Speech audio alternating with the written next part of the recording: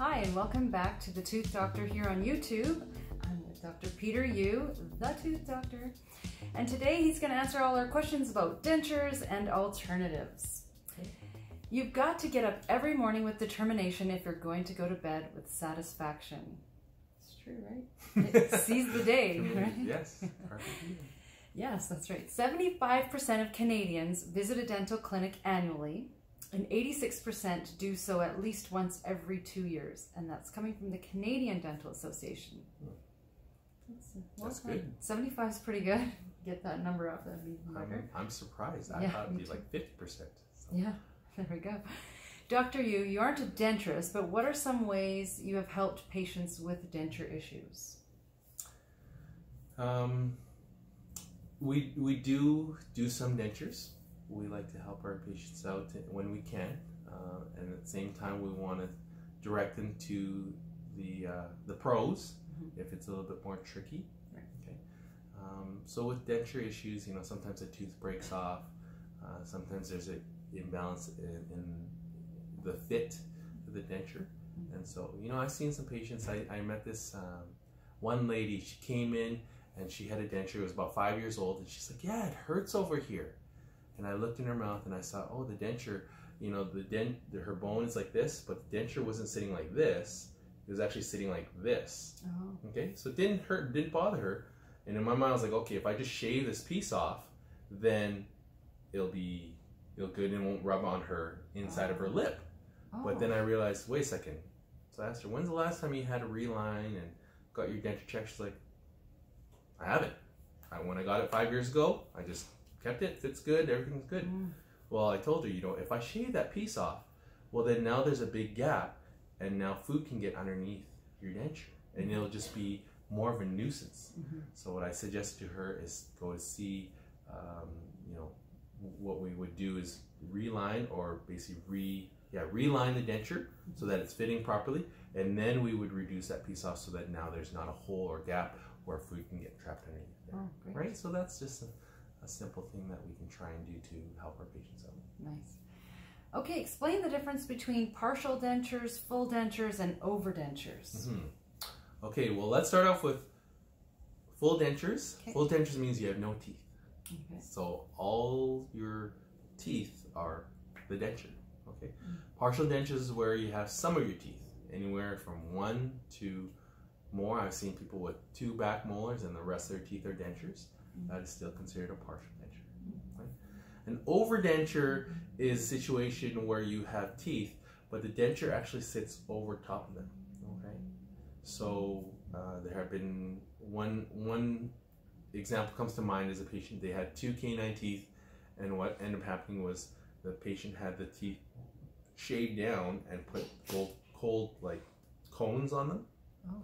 Okay, and then then a denture was made to fit over top of those cones, and so then all their teeth that you saw were the denture teeth, uh, but those those cones, those those teeth that were covered up with the the, the cone crowns per se, they were there for support to prevent the denture from shaking and moving around. Oh, okay. Yeah.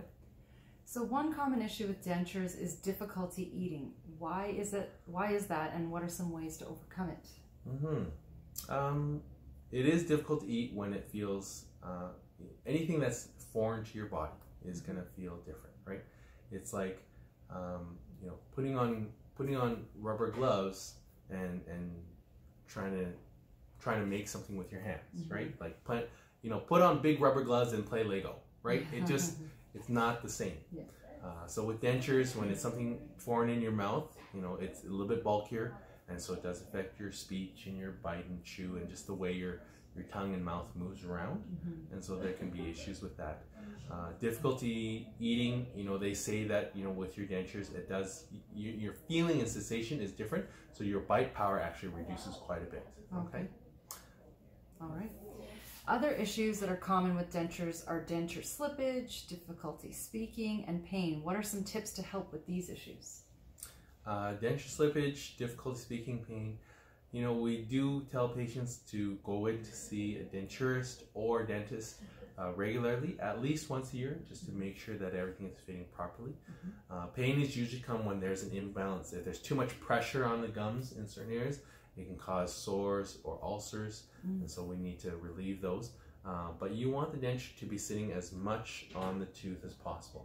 If you have gaps in the areas, then the, then there becomes you know extra pressure in certain areas, which actually creates a negative uh, effect on the bone, which actually causes it to shrink faster. Oh, wow. Okay. So is it common for people with dentures to avoid wearing them due to some of those issues? It's common. Like would they maybe not wear their dentures because Oh, slippage? a lot of times I see a lot of people. It's like, do you have a denture? Like, yeah, it's in my house somewhere. Uh, over two years ago, I'm not sure where it is. Oh, You know, so wow. you hear I hear many stories like that. Huh. Of, you know, dentures that aren't fitting well, or they just don't feel comfortable with it. Yes. Mhm. So what are some potential issues associated with not wearing those dentures? Uh, the issues with not wearing dentures is I tell patients your your dentures are supposed to protect the teeth that you already have. You have to think of it that way. And so by having the denture in, it spreads the force of your bite, it allows you to chew properly. Okay. The other thing too is that with dentures, um, it it helps to support the rest of your teeth. Okay. So when when you have uh, with your natural teeth, it prevents the teeth from shifting and moving, Mhm. uh, you know, incorrectly. Okay. So what are or how do dental implants help solve some of these common problems with dentures? Well, by having a, we call it a denture supported, uh, in- sorry, implant supported denture, um, it helps to provide a lot of stability. I met a lady once, she had a denture, full lower denture, kept wobbling around, she didn't like it. She had two implants placed, and then the dentist clipped the denture on the implants. And said, okay, I'm going to go to a different room and see that patient. Uh, in about 10 minutes, when you hear the, the beep, try and take it off. Okay. So he came, went there, did, came back, and she was like fighting with it to try and get off. Like it was literally night and day. Oh, And so having an implant, uh, having implants to support your denture just allows for very, um, it just feels more solid. right. Yeah. Okay. If someone has a partial or full denture, what is the process to get implants? someone has a partial for denture, uh, then what we would recommend is coming in and then we can assess the health of the remaining teeth. Uh, or if they have no teeth, then we basically assess the bone quality. Okay, then from there we can try and plan out what kind of implants we want to place, how many implants we want to place. Uh, so there's various different ways of going about placing implants and how the implants um, can support the denture. Okay, now sometimes people people want we call it uh, denture implant supported denture. Okay, or some people want something called a hybrid. Okay, Mm. so the denture either clips on, clips off. Okay, or you have the denture where it's actually screwed on. Okay. Oh, okay. And so then it stays in your mouth. You don't have to take it out, Mm. okay?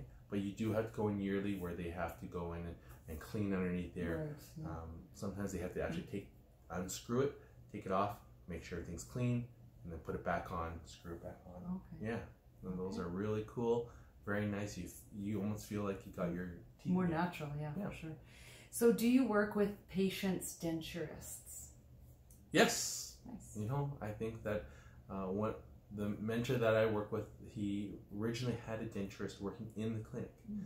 and to see them, they do dentures every day, right? They're kind of like a specialist, Mm. and so you know, I love doing all of the variety of things, you know, checks, fillings, you know, crowns, all that stuff. So you know, I enjoy all the variety of aspects, and so you know, my knowledge and my my time with dentures is not as much as a denturist would be. Mhm. And so I'm more than happy to deal with it. We have a few people in town that we refer to them. They send us the patients so that we can prep the teeth Mm, so yeah. that they're so that the teeth are prepared to place the denture. Uh, and then they'll refer to us sometimes. Sometimes they'll refer to us if there's a tooth that needs to be removed, uh, various things like that. So we're more than happy to uh, coordinate with denturists. Oh, great. Good collaboration. So what should someone do to get started with the tooth doctor?